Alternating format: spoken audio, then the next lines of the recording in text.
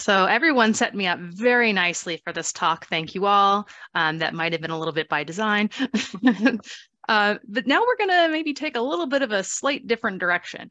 So one of the things that is really important when we think about the gut microbiome is what else it affects in the body because the whole body is connected and that's a really important tenet in integrative medicine is that the whole body is connected. You can't just study one part of it um, without looking at the whole system. And so the the gut is also connected to the brain and that's what i'm going to talk about the microbiome gut brain axis. Okay first uh, conflict of interest none of which affected the contents of this talk so first, I want to talk about how this is a bidirectional relationship.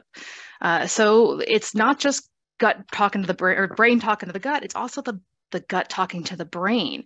And how are they connected? So there's a few main types of connections one being a nervous connection and that's through the vagal nerve. So the brain can talk to the gut and the gut can talk to the brain through the vagal nerve the other one is endocrine. So hormones can be released by the brain, allowing it to talk to the gut. And we'll talk a little bit about whether that works the other direction as well. Then there's also immune signaling. So the immune system will react to what it sees in either site and create cytokines, inflammatory cytokines or anti-inflammatory cytokines to either launch a robust immune response or to, to calm the immune system and just go into a surveillance mode, the homeostasis mode. And it can happen in either site and will affect actually the whole body. So immunity is really a great example of where you have to have that integrative approach because if there's an immune reaction in one part of the body, it's really going to spread pretty quickly to the rest of the body. And so we have to look at the whole body when we're when we're looking at the immune system. And then, of course, there are interactions between these two, which I'm not going to get into the purpose of this talk, but I did put them there for those of you who are interested in that.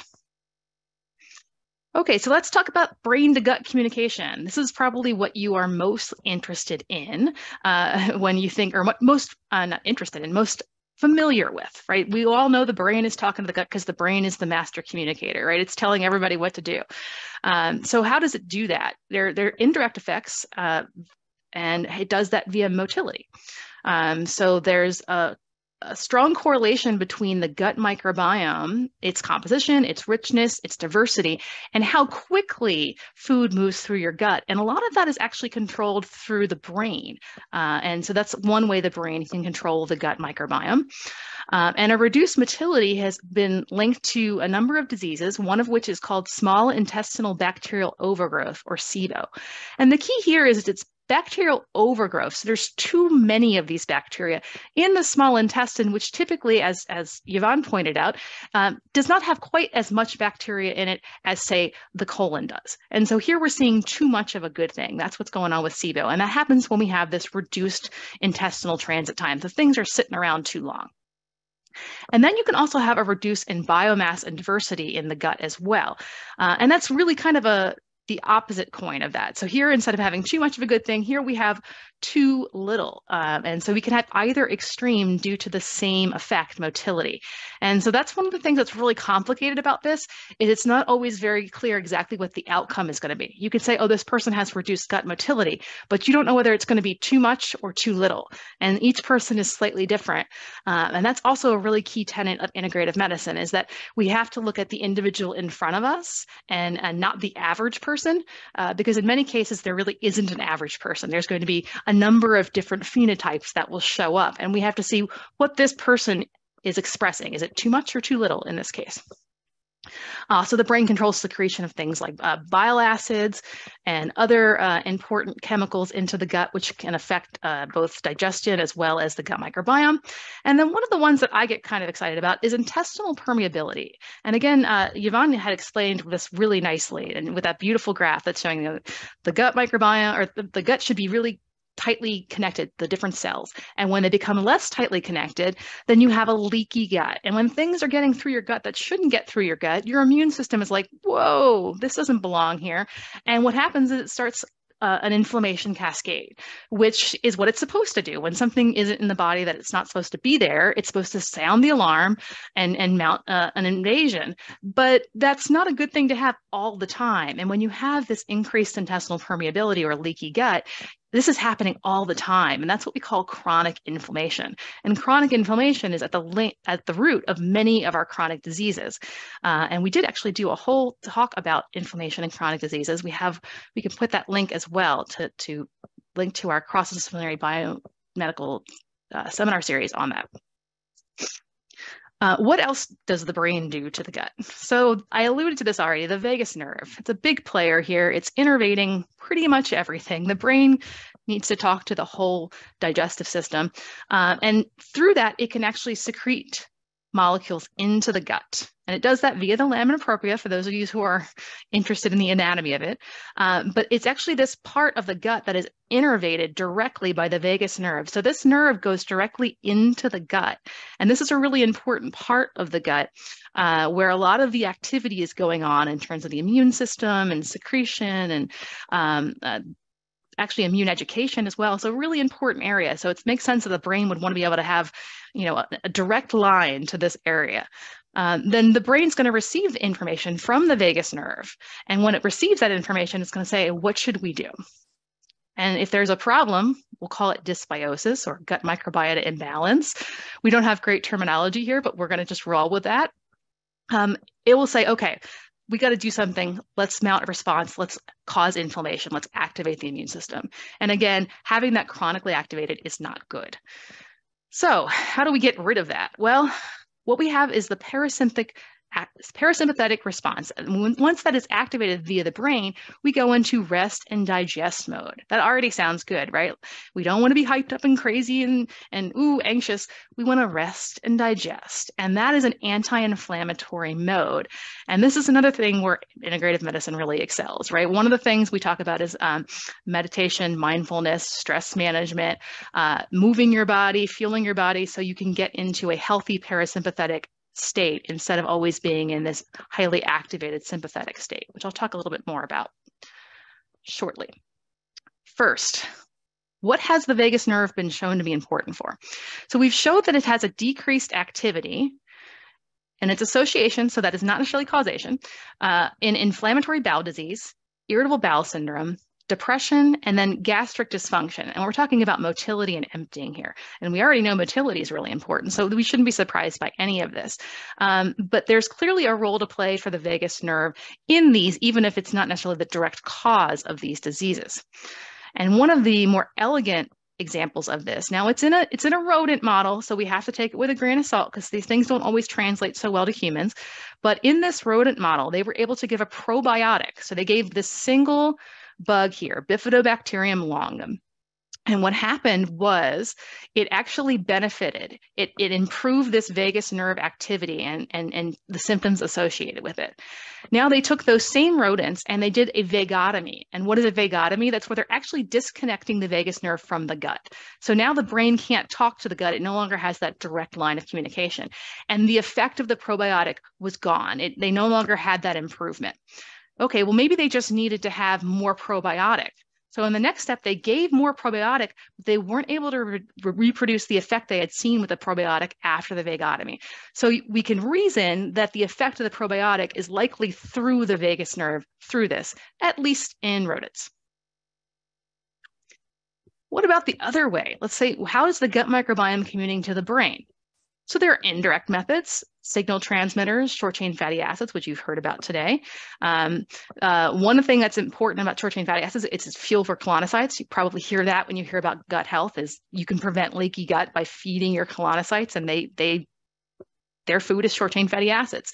And the short chain fatty acids are produced from fermentation of fiber by your gut microbiome. But what you might not know is those short chain fatty acids are also fuel for the brain microglia, so cells in the brain. And some of these short chain fatty acids travel from the gut through the circulation up to the brain and cross the blood brain barrier and actually fuel the brain microglia. And so that is an indirect method because it's got to go through circulation then it, it also um, the gut can also secrete secondary bile acids which are regulated by the brain. So that's a little bit of a you know bidirectional. And then also tryptophan metabolites uh, which you can see a, a depiction of this over here. So if we look at dietary tryptophan it is, you know, you, you eat something with tryptophan in it and your body is starting to digest it. What happens is the gut will sense that. And there is some um, processing of the tryptophan into various different metabolites, um, including what we have here as 5-HT, which is basically serotonin. And serotonin is a neurotransmitter, which Yvonne again talked about. It's important for uh, brain function. And because this this serotonin is able to cross into these ECCs, which are over here, the enterochromaffin cells, which are directly interacting with the vagus nerve, the brain is being told through the amount of serotonin what's going on in the gut and then can react to it and, and send signals back. So that is an indirect mechanism as well, because it's got to travel into the ECC, then through the vagus nerve, and then up to the brain. So there are signal receivers. There are the uh, enteroendocrine cells, the enterochromaffin cells, mucosal immune cells. And this one's a big one. A large portion, you see, you hear a lot of numbers out there. It's not overly precise because it's going to be different at any one time period, any different person, but somewhere on the order of 70 to 80% of your immune cells at any one given time are in your gut. They are actually hanging out in your gut and they are being educated and getting ready uh, for if they are needed to mount a response. And so because they're hanging out in your gut, they're really, they're, you know, they're seeing what's going on here and thus they're highly reactive to what's going on. So if you have a leaky gut and um, LPS, a, a, component that comes from bacteria, gets through that gut, those immune system cells are right there and they're going to see it. They're going to start inflammation. They're going to start reacting to it. And in some ways, that's a good thing because if we have a pathogen that gets through the gut, we really want to get on that quickly and, and stop uh, sepsis or, or full body infection. Um, but if it's this chronic inflammation, we know that's not good. And so we really have to figure out how to turn off that chronic inflammation other signal receivers, circulation, which I did talk about, and then of course the ever popular vagus nerve. What else do you need to know about gut microbiome to brain communication? The, the real key here is the HPA axis, and I already alluded to this a little bit. And what is the HPA axis? It's a complex neural immunoregulatory mechanism. And all it is is that rest and digest or fight, flight, freeze mode.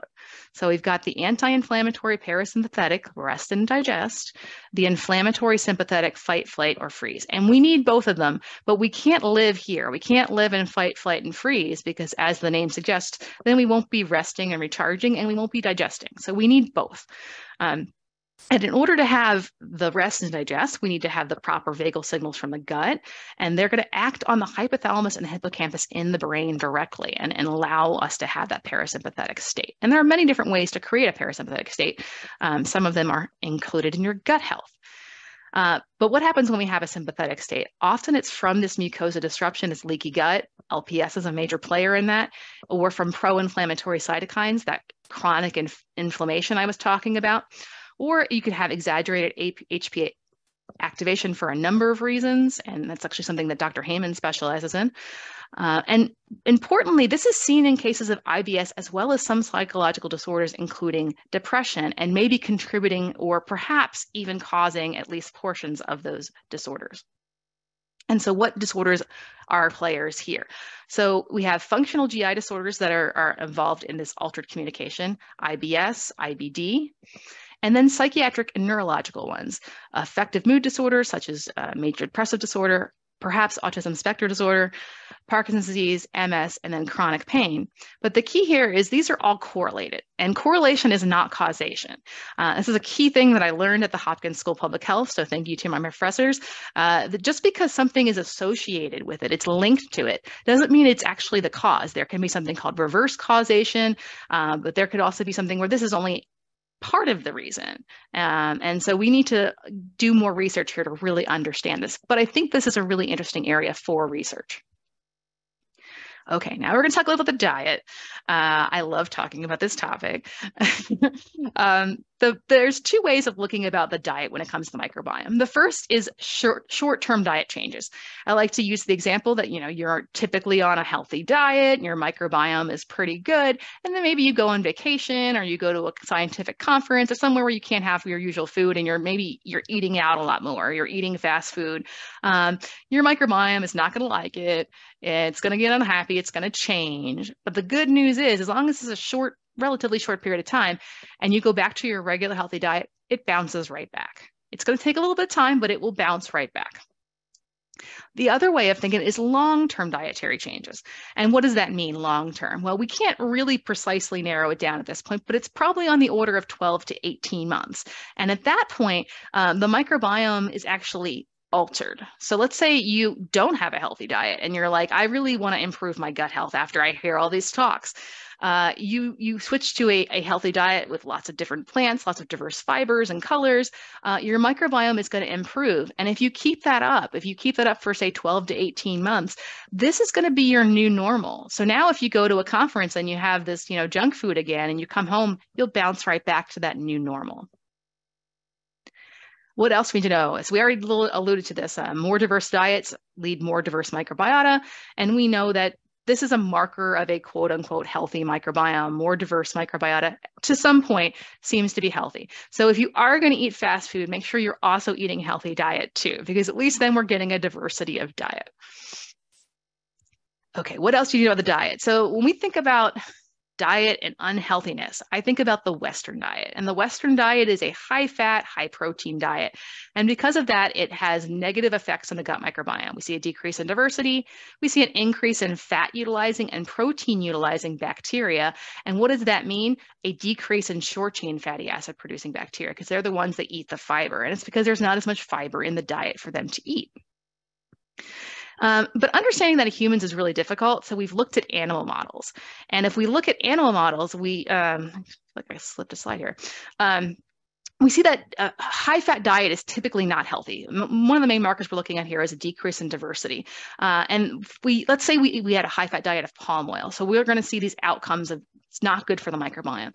But interestingly enough, if we have the same high fat diet with olive oil or even safflower oil, we don't see these effects. So, healthy fat may actually be protective in a high fat diet. And this has been confirmed in a few trials in humans, um, particularly those that have IBD. So the type of fat matters. And um, when you talk about fat, we really want to think about a ratio. So a ratio of omega 3 to omega 6, make sure you're getting enough of these healthier fats that are typically uh, liquid at room temperature, or if you're having, you know, animal sources are coming from grass fed sources. And what else do we need to know about the microbiome? So I think this is a particularly helpful example. Uh, so we're going to call this the gut microbiota pyramid. This is what you would want your diet to look like, you know, somewhat if you want to feed your gut microbiome. You can see there are lots of plants here at the base and maybe some grains as well. And then maybe also some animal products that are a little bit healthier. And then maybe some other animal products and sugar that are not so great upon occasion. Uh, but it's pretty much the opposite of the Western diet. It's it's you, you flip the Western diet on its head, and that's what we want to see for microbiome health. And the key here is the fiber, as everyone has been talking about. So, what about supplementing with fiber? So that's one way to add fiber to your diet. And uh, resistant starch is a type of prebiotic fiber. Uh, and if you deliver a prebiotic supplement containing resistant starch to people have just this one bug, Ruminococcus bromii. So they have this this bug. They use 100% of that resistant starch. That that bug digests it and it, it gets turned into short chain fatty acids. But in people that don't have that bug, only 20 to 30% of that resistant starch is actually utilized. So just delivering a prebiotic supplement may not give you a, the effect you're looking for. And I like to explain this using this example. Let's say we have a patient that comes in with a green microbiome and you give them a prebiotic that has resistant starch and they have great outcomes. And you're like, this is great. I'm going to use this for all my patients. But now you have a patient that has a purple microbiome and you give them the exact same supplement, well, they have negative outcomes. Maybe they're having gas, cramping, bloating, diarrhea, or constipation. Well, that's not good. Okay, maybe it's just something weird about that patient. Uh, the next patient that comes in and they have an orange microbiome, you give them the same prebiotic fiber. Well, they have no response at all. And this might sound a little bit crazy, but I will tell you this is exactly what happens with the gut microbiome because it's highly dependent on what their microbiome looks like, how they're going to respond to any individual supplement. Uh, and it makes it really difficult to study this, but also it makes it really difficult for a clinician to figure out what should I recommend for each patient. And right now, it's difficult to answer that question. But hopefully, in five or 10 years, we'll have a better understanding about what types of microbiomes go well with what supplements and how we can match them to Im- improve their gut health. what else is there to diet? So there, we talked about macronutrients, carbs, fat, protein. We talked a little bit about um, prebiotic fiber, which is it's technically a carb, but it's not one that we can digest. There are also these non-nutritive components of the diet, and they're polyphenols. And the one you've probably heard of is resveratrol, which is found in red wine. But these are basically plant chemicals, chemicals found in plants that have been linked to beneficial health effects, such as cancer prevention and heart disease. But what's really interesting about them is that we aren't digesting these polyphenols. About 90% of them actually make it to our gut microbiome. And the gut microbiome are the ones that process it, and they improve the bioavailability so we can actually utilize those, those compounds. And so it's possible that we wouldn't be able to get the health benefits of a healthy diet without a healthy gut microbiome, or at least without a microbiome that has a enough microbes there that can help with this processing. And one example, and uh, I'm, this is not telling you to drink wine, but if you do drink wine, maybe this will feel you, make you feel a little bit better about it. So this study looked at uh, consumption of wine, consumption of dealcoholized wine, and then consumption of gin as alcohol, and how that changed the microbiome.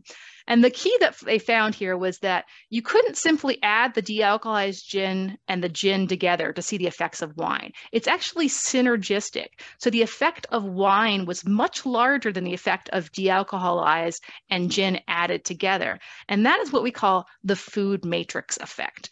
And basically, uh, it's first of all, we don't eat nutrients, we eat foods, right? So people aren't eating portions of the wine, they aren't eating different nutrients of the wine, they're having the wine. Um, and, uh, and the same is true of an apple. You can't simply take you know a glass of water a fiber supplement the macro and micronutrients that are found here on the nutrition facts label in this apple, and maybe some of the polyphenols like quercetin that are found in this apple, and think you're going to get the same effect as eating an apple. There's something unique and specific about how everything comes together in that apple. And this is part of the reason that whole foods are so important for your gut health. And while I fully support Chris's idea to like let's have let or more healthy processed foods ultimately the ideal would be to have whole foods and this is why. Um, foods are not simply the sum of their parts. That doesn't mean we can't improve foods by adding things like fiber to them. It's just knowing that it's not going to be the same as having a whole food. And again the reason why a diversity of diet is really important but a lot of this work is not done in an ideal situation for research. So many of them is actually done in animal models. And while they're very convenient, unfortunately, they, they don't translate well to humans in general, but especially as we're talking about nutrition and the gut microbiome. They just really aren't translating well. So we need to establish these relationships in humans and then use the animal models for mechanistic studies. The other thing is small feeding studies. Uh, for instance, the ones by Kevin Hall, that, that's a great, robust, small feeding study. And they're very difficult to do, and they're actually quite expensive. Uh, and so that's part of the reason they're small. But the problem with having them being small in terms of the gut microbiome is you're having a limited sample size of individuals, which means you're having a limited sample size of different types of microbiomes, variety of subjects and variety of microbiomes. So it may not actually be generalizable to people outside that study. It's really only going to relate to those types of microbiomes that are in that study. Maybe, in who knows, maybe you only have three different types of microbiomes in this group, whereas in, you know, in the world, maybe there's 12 or 15 different kinds. And so generalizing that to everybody else is not simple. The other thing we do is supplementation studies. And as I've already told you, um, that doesn't always work because there's so much inter-individual variation. But the other big thing is that it may not actually represent what a dietary intervention would look like. Because again, we don't eat food, or we, we eat foods, not compounds, right? We're eating, we don't eat nutrients, we eat the foods they come in. And that food matrix is really important to the, to the response. So just looking at a supplemental version of, say, fiber is not going to necessarily have the same effect of increasing fiber in your dietary intake.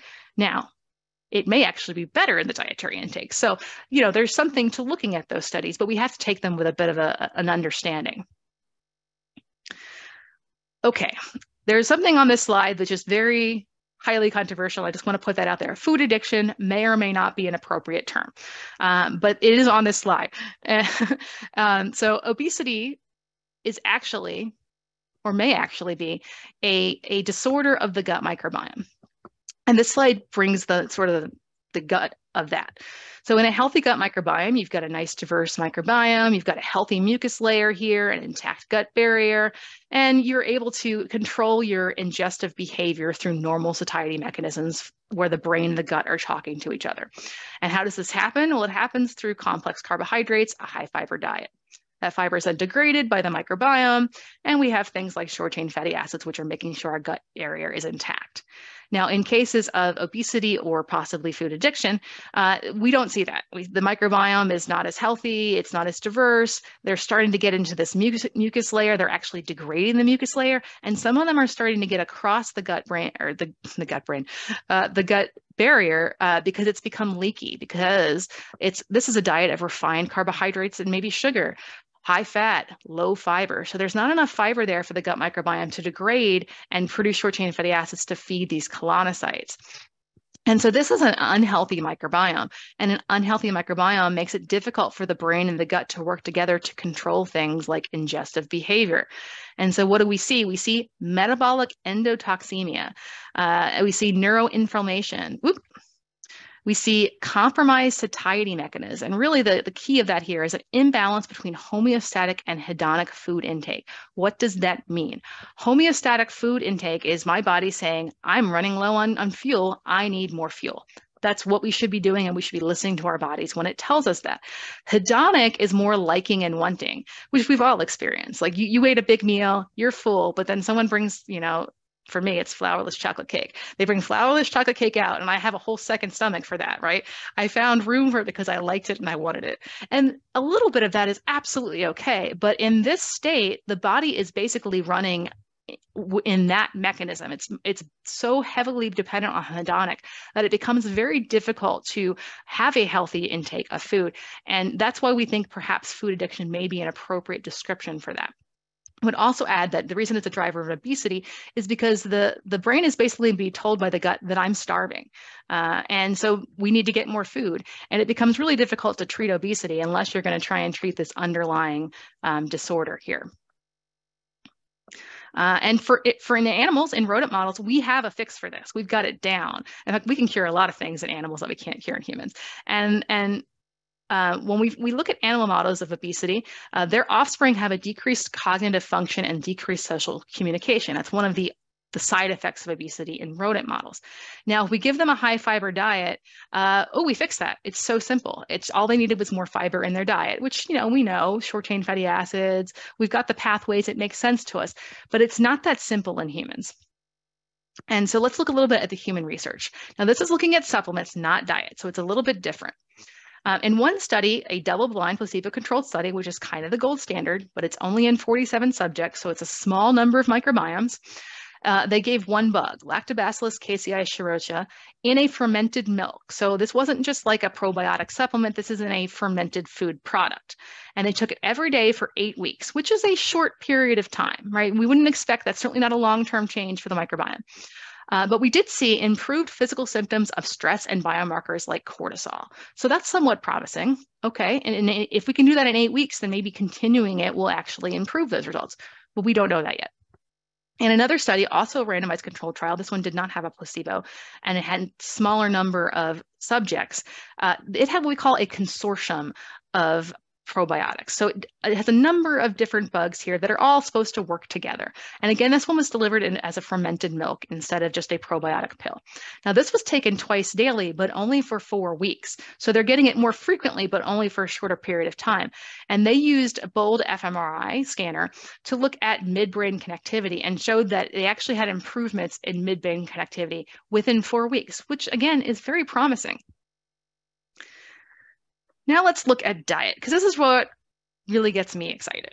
So here's a single group feeding study. So I already told you these are robust, but they're usually very small, 26 adults. So we don't have a lot of different microbiomes there. Here they used an inulin uh, type of fiber and through rich vegetables. So they looked at fructans rich vegetables and they had to have them every day for two weeks. Seems doable. Add a little vegetables to your diet for two weeks. We can all do that. Uh, what they saw was increased satiety and reduced cravings. Now, what is that? That is the microbiome gut-brain axis in in action, uh, right? It's that's that moving from the hedonic to the homeostatic wanting. Um, they did see a little bit of increased flatulence, and transient changes in the microbiome comp composition. Now, with the flatulence, one of my big arguments with fiber is that we want to start low and go slow so we can avoid some of these side effects as your body gets used to it, your microbiome gets used to it, particularly if you're on a low fiber diet to start with. When your gut microbes see some fiber, they get real excited because they haven't seen it for a while. And so they they produce too much gas and, and too many short chain fatty acids at once, and you can have some digestive upset. So you want to uh, be careful with fiber. And then the transit changes, that's exactly what we'd expect because this is only two weeks, right? So as soon as you stop taking this, it's going to bounce back to whatever it was before. But perhaps if this was for 12 months, maybe we would see something that seemed more lasting. All right, another study here, a controlled intervention of 44 women with obesity. So small study, but they're a little more homogenous in the fact that they're all women who have obesity. And we looked over an eight week period. They were given a, a 20 minute dietary lecture talking about healthy diet, fiber, fermented foods, all the good stuff we're talking about today. And then they also had a 10 minute RD counseling every two weeks. So they're talking with a, a registered dietitian uh, and getting help on improving their diet. And in this intervention, they saw improvements in BMI, waist circumference, depression, now that's microbiome gut brain axis, self rated health, and microbiome diversity. So, diet can move the needle even in only eight weeks, but we would like to see a longer term study to really see how this is affecting their microbiome gut brain axis.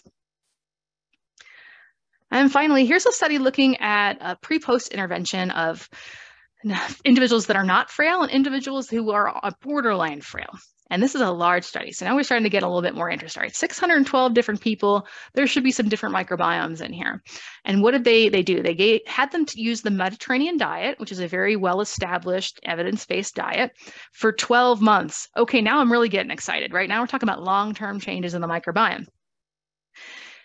Uh, what do they find? Dietary adherence. So, how well they stuck to this Mediterranean diet, how well what they actually ate looked like a Mediterranean diet was associated with microbiome compositional changes, increased short chain fatty acids, so you know maybe reduced leaky gut probably if they had tested for that, decreased secondary bile acids and P-cresol and other things maybe we don't want to have super high amounts of.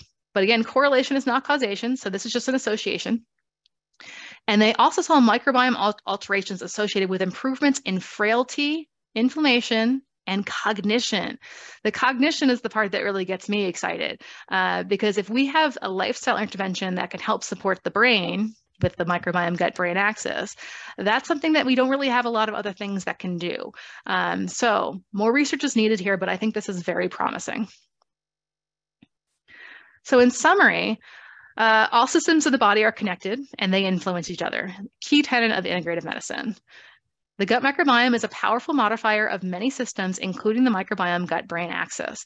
And here you can see it's all connected. Your gut is talking through the vagal nerve to the brain. There's also the circulation, and they're talking back and forth. And so, if you want to help your brain, you should also look to your gut. Also, the diet can be used for temporary or long-term modulation of the gut microbiome and thus the microbiome gut-brain axis. And that temporary being less than 12 months, long-term being on the order of at least 12 to 18 months. And then research is definitely needed in this area. So, you know, this is not a done deal. And what are we looking for? Particularly establishing these relationships clearly in humans. We need to make sure that the relationships are there in humans before we start trying to figure out the mechanism in animals. And then also, we really need to develop protocols for implementation. Um, because as you saw in the studies that I just presented, they're kind of all over the place. Some of them are four weeks, some of them are eight weeks, some of them are six weeks, some of them took it once a day, some of them took twice a day, some of them were in fermented milk, some of them were just pills, some of them were diet. Um, so having a, a standardized way for in implementing uh, microbiome gut brain axis protocols uh, would really be helpful so we can compare them with each other, which right now we can't do. Um, we also can't compare with them because of the uh, measurement biases that that Scott was talking about earlier. So lots to be done here, but it, I think it's very promising and I'm personally very excited about it. And then finally, I want to just put a little plug in for our podcast, the GW Integrative Medicine Podcast. Uh, you can find it anywhere you listen to your podcasts or on our website. Uh, and if you like what you heard today at the Sung Symposium, I highly recommend you tune into this because we talk about very similar things on here, uh, but it's in under 30 minutes. So, you know, if you're commuting or you're going for a walk or a bike ride, you can pop in some. So, everyone set me up very nicely for this talk. Thank you all. Um, that might have been a little bit by design. Uh, but now we're going to maybe take a little bit of a slight different direction.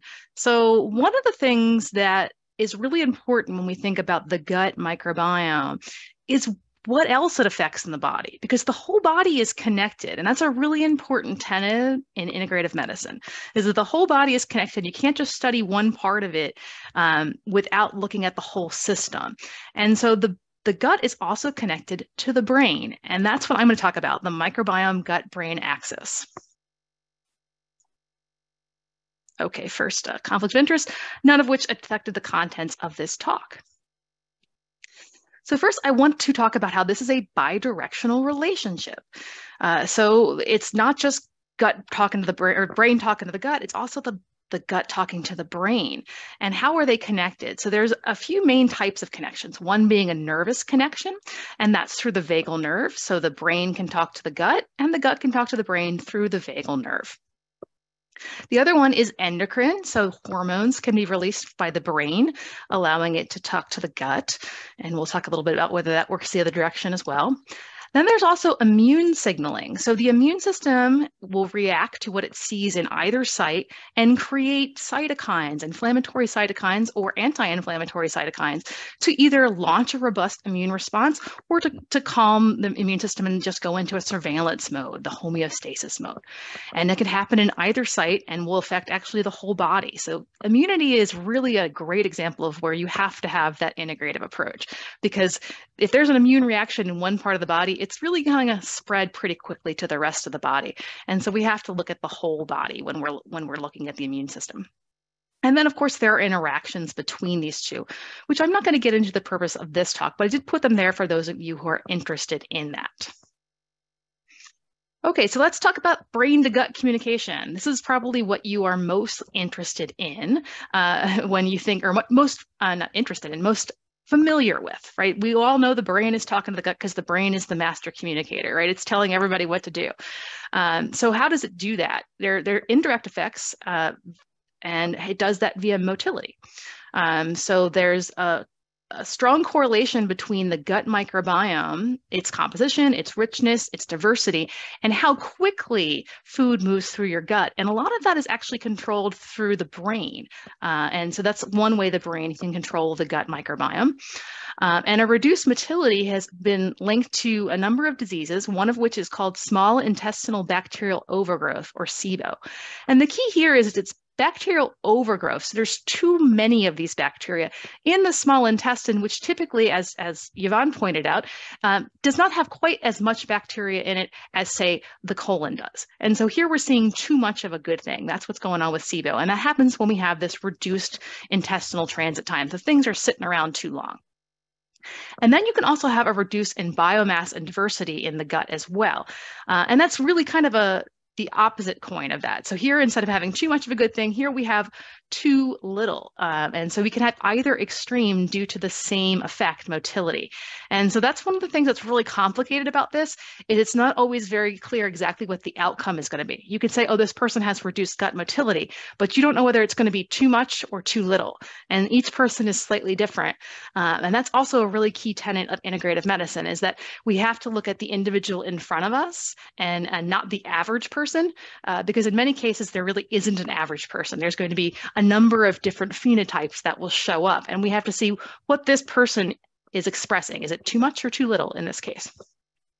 Uh, so the brain controls secretion of things like uh, bile acids and other uh, important chemicals into the gut, which can affect uh, both digestion as well as the gut microbiome. And then one of the ones that I get kind of excited about is intestinal permeability. And again, uh, Yvonne had explained this really nicely, and with that beautiful graph that's showing the, the gut microbiome or the, the gut should be really tightly connected, the different cells. And when they become less tightly connected, then you have a leaky gut. And when things are getting through your gut that shouldn't get through your gut, your immune system is like, whoa, this doesn't belong here.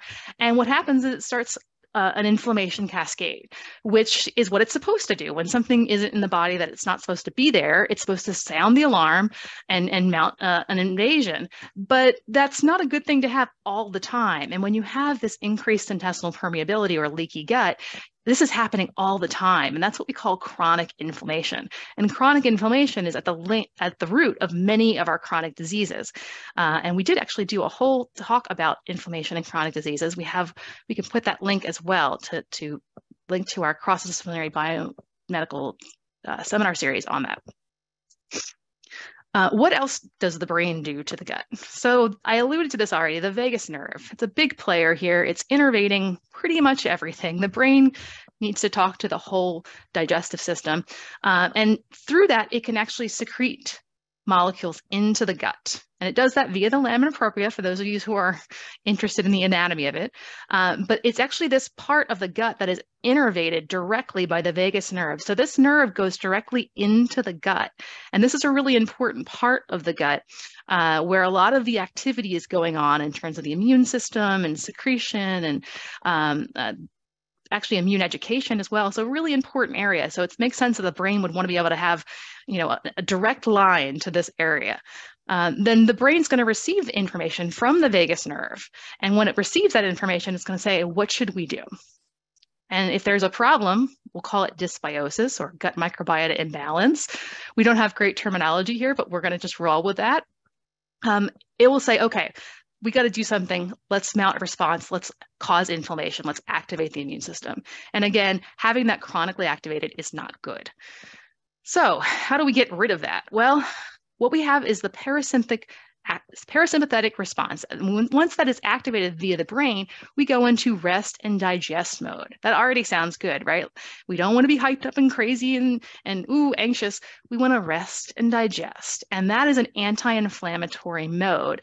And this is another thing where integrative medicine really excels, right? One of the things we talk about is um, meditation, mindfulness, stress management, uh, moving your body, fueling your body so you can get into a healthy parasympathetic state instead of always being in this highly activated sympathetic state, which I'll talk a little bit more about shortly.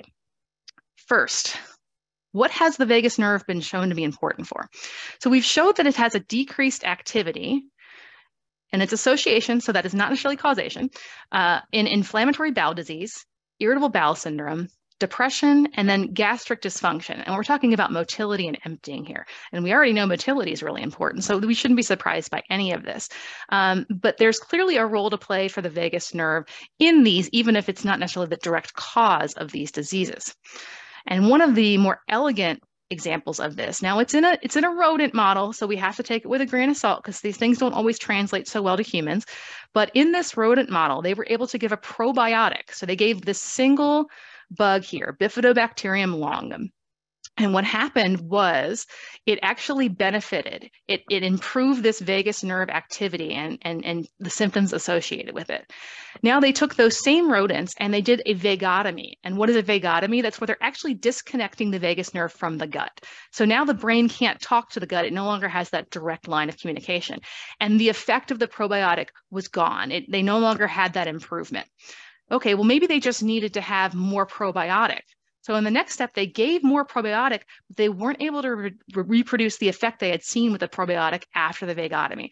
So we can reason that the effect of the probiotic is likely through the vagus nerve through this, at least in rodents.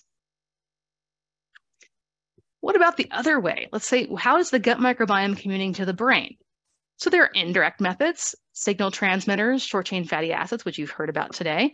Um, uh, one thing that's important about short chain fatty acids, it's fuel for colonocytes. You probably hear that when you hear about gut health is you can prevent leaky gut by feeding your colonocytes and they, they their food is short chain fatty acids.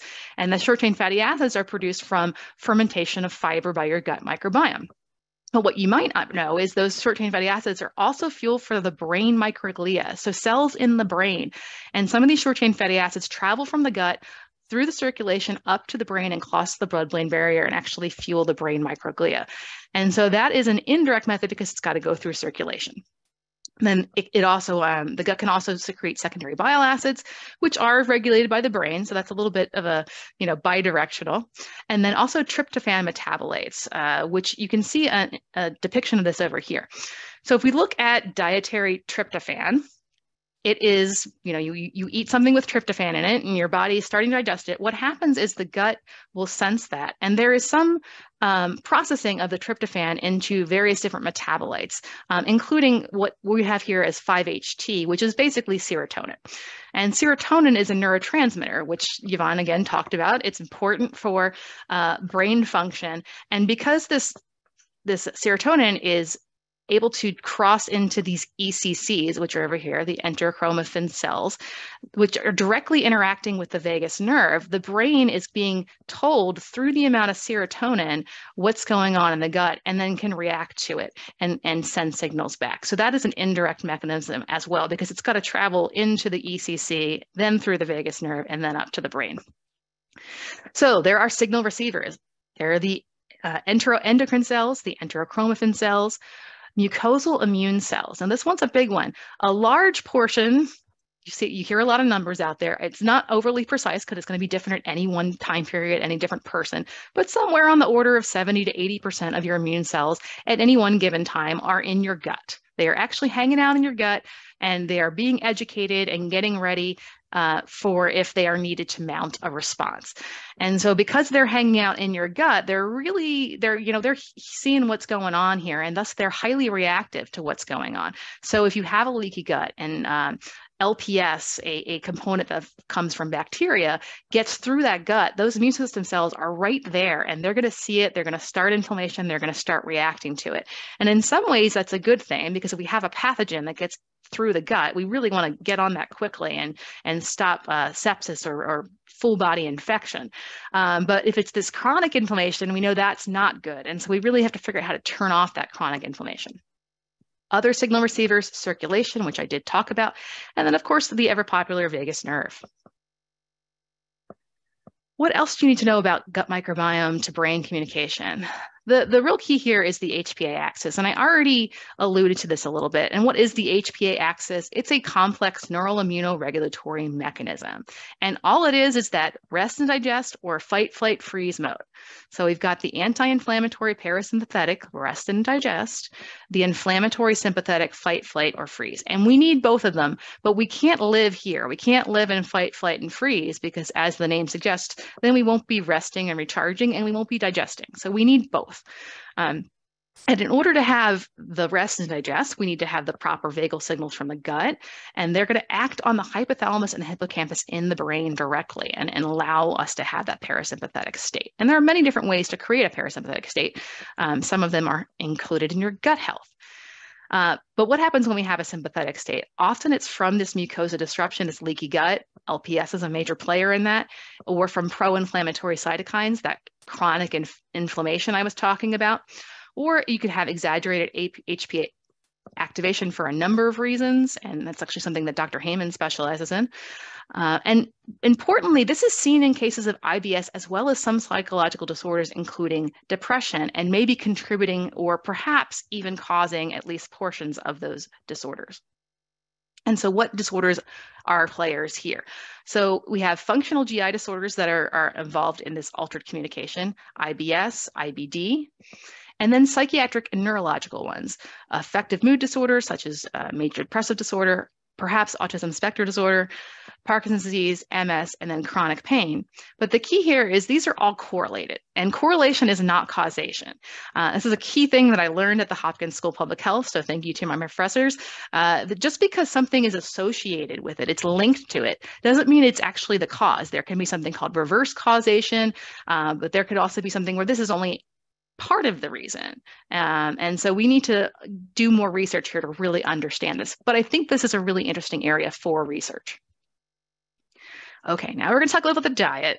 Uh, I love talking about this topic.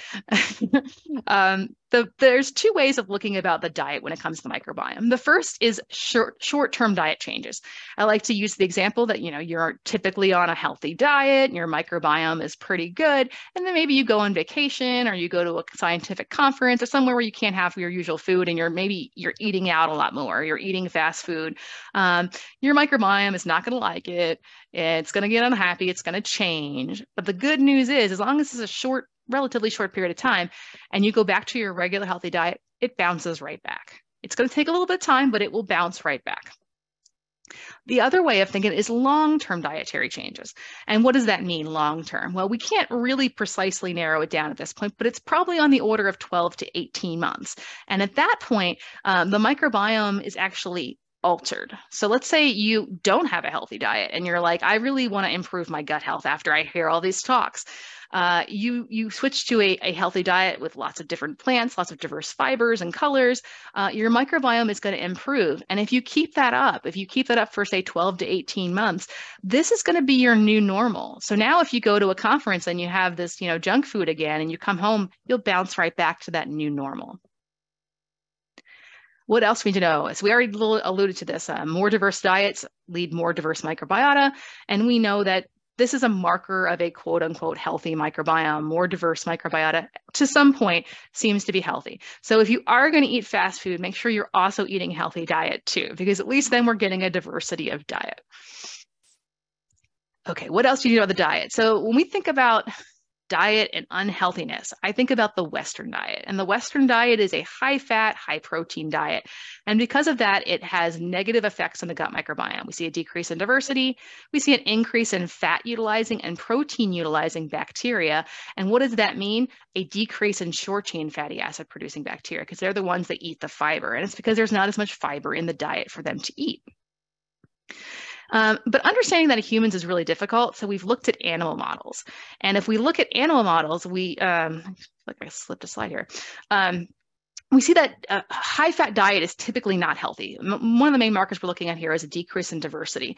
Uh, and we let's say we, we had a high fat diet of palm oil. So we're going to see these outcomes of it's not good for the microbiome. But interestingly enough, if we have the same high fat diet with olive oil or even safflower oil, we don't see these effects. So, healthy fat may actually be protective in a high fat diet. And this has been confirmed in a few trials in humans, um, particularly those that have IBD. So the type of fat matters.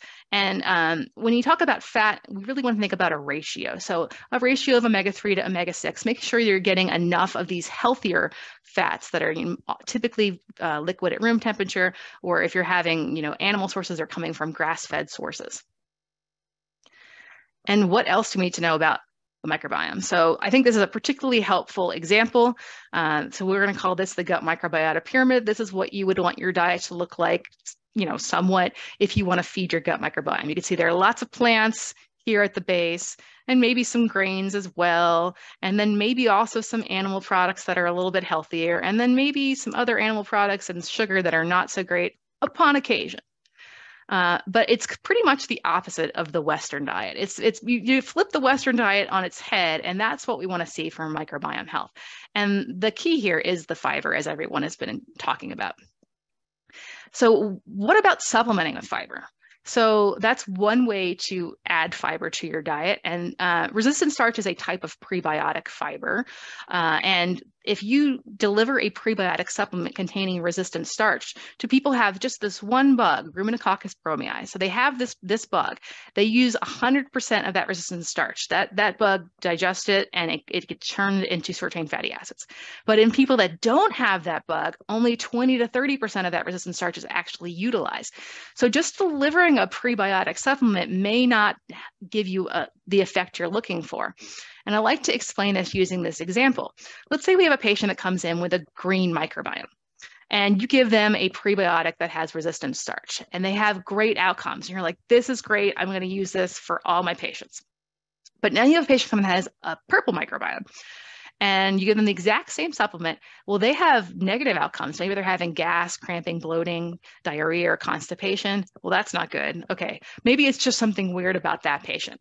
Uh, the next patient that comes in and they have an orange microbiome, you give them the same prebiotic fiber. Well, they have no response at all. And this might sound a little bit crazy, but I will tell you this is exactly what happens with the gut microbiome because it's highly dependent on what their microbiome looks like, how they're going to respond to any individual supplement. Um, uh, and it makes it really difficult to study this, but also it makes it really difficult for a clinician to figure out what should I recommend for each patient. And right now, it's difficult to answer that question. But hopefully, in five or 10 years, we'll have a better understanding about what types of microbiomes go well with what supplements and how we can match them to Im- improve their gut health. what else is there to diet? So there, we talked about macronutrients, carbs, fat, protein. We talked a little bit about um, prebiotic fiber, which is it's technically a carb, but it's not one that we can digest. There are also these non-nutritive components of the diet, and they're polyphenols. And the one you've probably heard of is resveratrol, which is found in red wine. But these are basically plant chemicals, chemicals found in plants that have been linked to beneficial health effects, such as cancer prevention and heart disease. But what's really interesting about them is that we aren't digesting these polyphenols. About 90% of them actually make it to our gut microbiome. And the gut microbiome are the ones that process it, and they improve the bioavailability so we can actually utilize those, those compounds.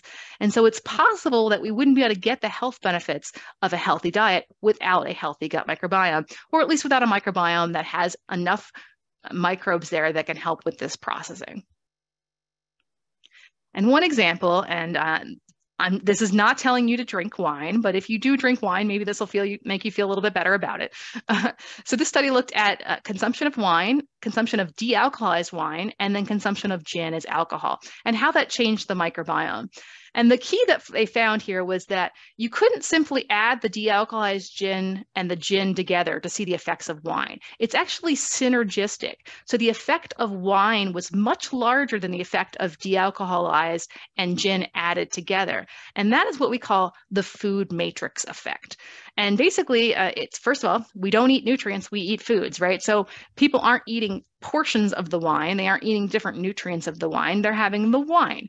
Um, and, uh, and the same is true of an apple. You can't simply take you know a glass of water, a fiber supplement, the macro and micronutrients that are found here on the nutrition facts label in this apple, and maybe some of the polyphenols like quercetin that are found in this apple, and think you're going to get the same effect as eating an apple. There's something unique and specific about how everything comes together in that apple. And this is part of the reason that whole foods are so important for your gut health. And while I fully support Chris's idea to like let's have let or more healthy processed foods ultimately the ideal would be to have whole foods and this is why. Um, foods are not simply the sum of their parts. That doesn't mean we can't improve foods by adding things like fiber to them. It's just knowing that it's not going to be the same as having a whole food. And again the reason why a diversity of diet is really important but a lot of this work is not done in an ideal situation for research. So many of them is actually done in animal models. And while they're very convenient, unfortunately, they, they don't translate well to humans in general, but especially as we're talking about nutrition and the gut microbiome. They just really aren't translating well. So we need to establish these relationships in humans and then use the animal models for mechanistic studies. The other thing is small feeding studies. Uh, for instance, the ones by Kevin Hall, that, that's a great, robust, small feeding study. And they're very difficult to do, and they're actually quite expensive. Uh, and so that's part of the reason they're small.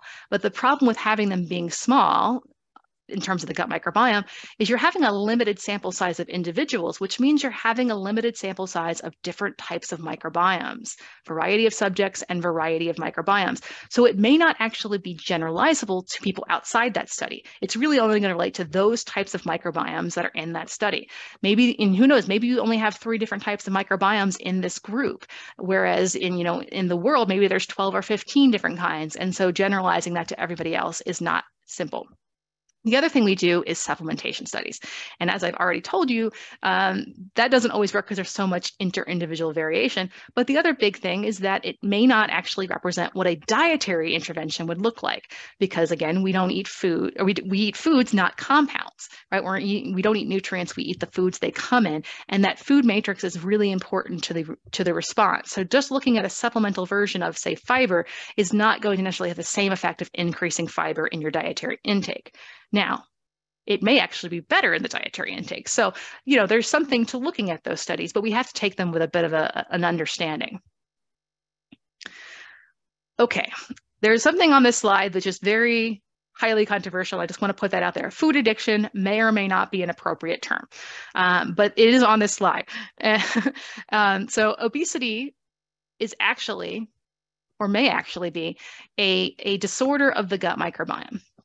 And this slide brings the sort of the gut of that.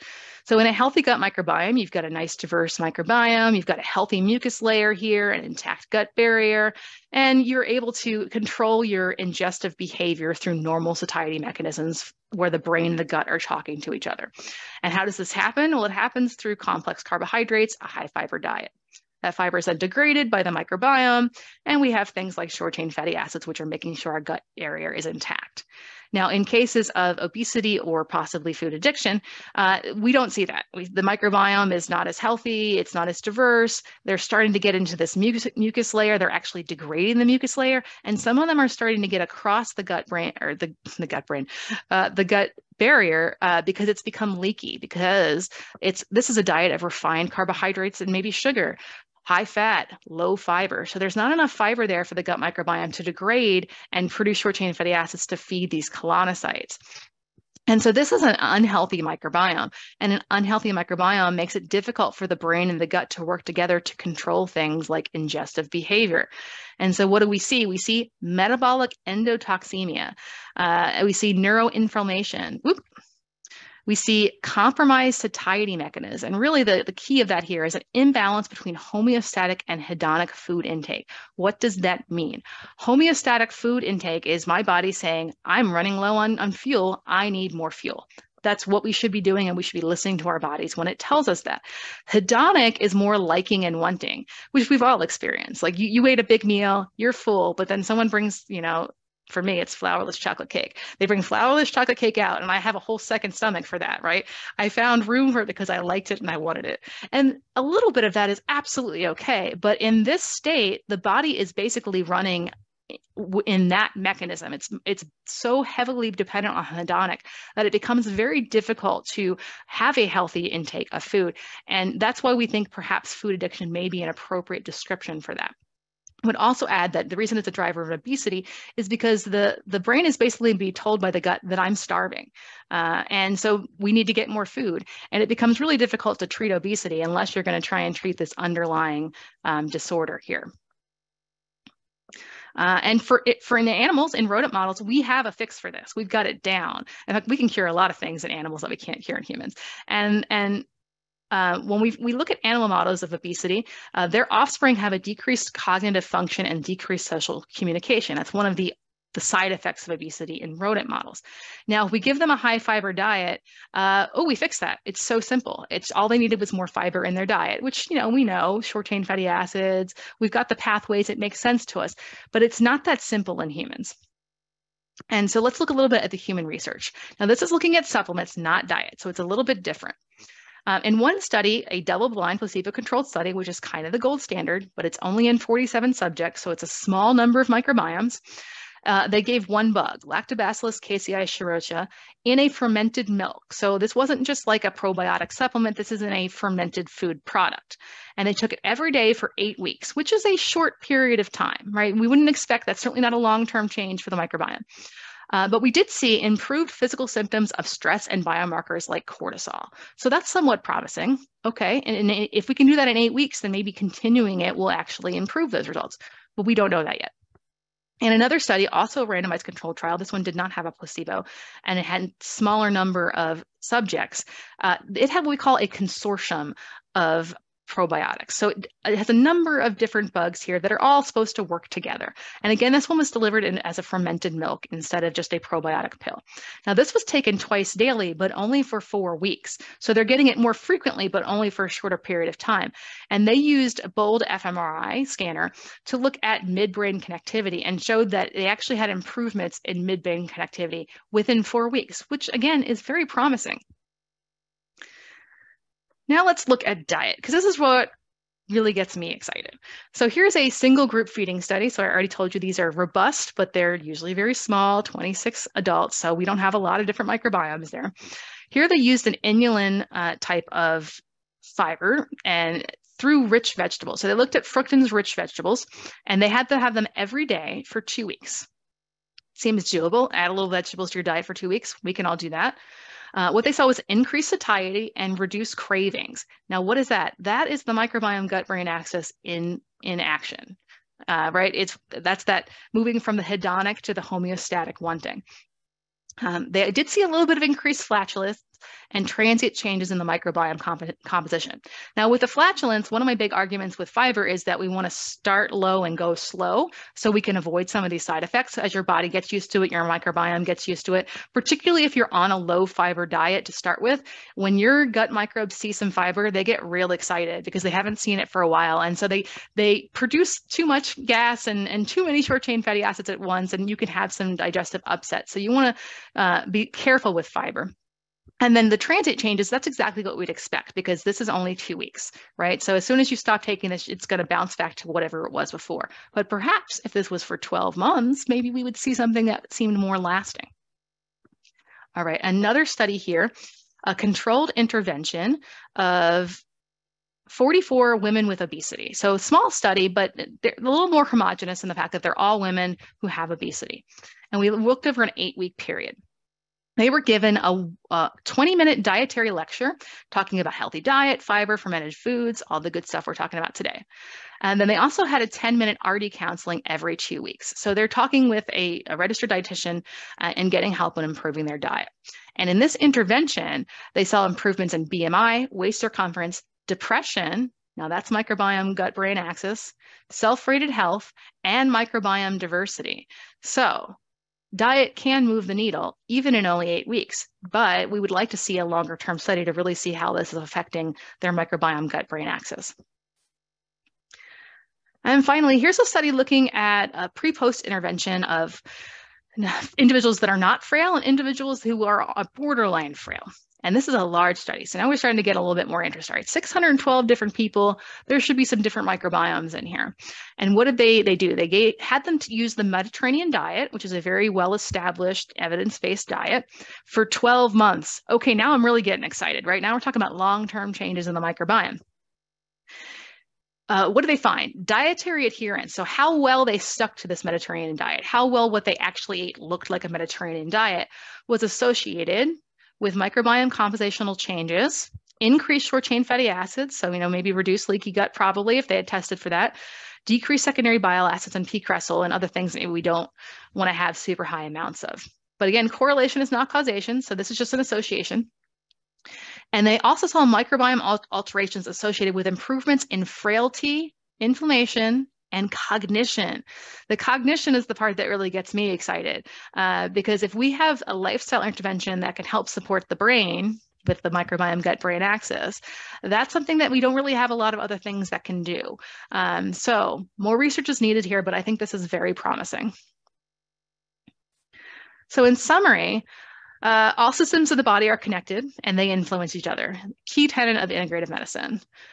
The gut microbiome is a powerful modifier of many systems, including the microbiome gut brain axis. And here you can see it's all connected. Your gut is talking through the vagal nerve to the brain. There's also the circulation, and they're talking back and forth. And so, if you want to help your brain, you should also look to your gut. Also, the diet can be used for temporary or long-term modulation of the gut microbiome and thus the microbiome gut-brain axis. And that temporary being less than 12 months, long-term being on the order of at least 12 to 18 months. And then research is definitely needed in this area. So, you know, this is not a done deal. And what are we looking for? Particularly establishing these relationships clearly in humans. We need to make sure that the relationships are there in humans before we start trying to figure out the mechanism in animals. And then also, we really need to develop protocols for implementation. Um, because as you saw in the studies that I just presented, they're kind of all over the place. Some of them are four weeks, some of them are eight weeks, some of them are six weeks, some of them took it once a day, some of them took twice a day, some of them were in fermented milk, some of them were just pills, some of them were diet. Um, so having a, a standard standardized way for in- implementing um, microbiome gut brain axis protocols uh, would really be helpful so we can compare them with each other, which right now we can't do. Um, we also can't compare with them because of the uh, measurement biases that that Scott was talking about earlier. So lots to be done here, but it, I think it's very promising, and I'm personally very excited about it. And then finally, I want to just put a little plug in for our podcast, the GW Integrative Medicine Podcast. Uh, you can find it anywhere you listen to your podcasts or on our